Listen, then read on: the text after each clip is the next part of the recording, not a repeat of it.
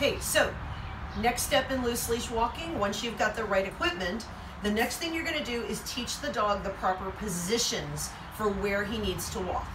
Typically, in formal obedience, the word heel was used to have your dog on your left side and to walk with you. We're gonna modify that just a little bit.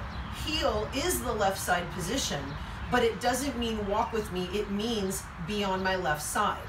If I want the dog on my right, I'm gonna use the word side. And again, the idea is to teach the dog that if you say you, know, you want the dog on the left or the right, depending on the environment you need to navigate, the dog will understand which side of you to be on. The cue that we'll use to walk forward is let's go. And that way it doesn't matter if the dog is on the left or right. Let's go means just let's go forward. Okay? So the first thing we're going to start out with is trying to get a dog into a position where it doesn't even learn to pull but we will address pulling as part of the next segment on loose leash walking. So to start, I want to put River in front of me. So River, come front. You see I'm using the treat to position him in front of me in sort of a home base position. River, River, sit, good boy. I'm going to start with putting him on my right. I have a handful of treats in my right hand. The leash is going to be in my left hand. The leash is only here to keep him from leaving my training space. When you're working at home, I even suggest people do this without the leash when you're in a secure, safe place. I'm gonna put the treats on his nose. I'm gonna step left. I'm gonna leave my hand here, turn my hand over, side. He's gonna make a small circle and follow me. And River, the last piece is a sit. Yes, good boy to start to, to try it again. River, come front, come front. And what I'll do is I'll back up, A, to give myself more space, and B, to get the dog lined up right between my feet. River, sit. Good boy. Okay. So again, you have several pieces of treat in your hand.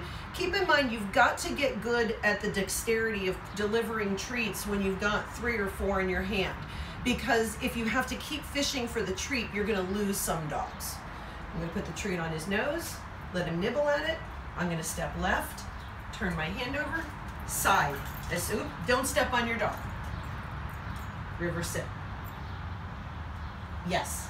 Now, also notice, I did not say sit four times because he didn't do it immediately. I waited for him to do it.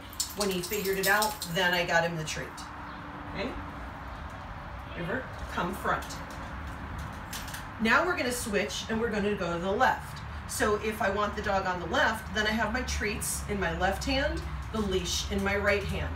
And your leash is gonna stay in this position even when we start doing the walking. And the reason is that I want you in the in the early stages of teaching loose leash walking, you need to have incentive for the dog to stay with you. And so you need that hand free. Oops, he thinks I dropped a treat. So River, come front, sit, good boy. Okay, take my treats, put them on his nose. This time I'm stepping to the right, River, heel. And I step forward so that he follows me. And notice too, River, sit. Yes. I don't let my hand drift out here because what's going to happen? He's going to follow the treats out there if I drift my hand. Pretend you have a wall on the seam of your jeans that stops your hand. Sometimes I'll tell people to lay their arms straight down their side, and that's where the dog should be. He's now set up in the perfect position to walk forward on a loose leash. Okay, River, come front. Sit. Again, you always want several pieces in your hand at once. Put the treat on his nose, step to the left, heel, turn him around, and River sit. Yes. Good boy. Good job. So this is how you position a dog to get ready for loose leash walking.